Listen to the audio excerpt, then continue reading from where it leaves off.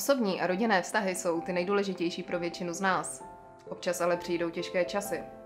Budeme stát při vás, ať už řešíte rozvod, výživné, dědictví nebo dělíte společný majetek.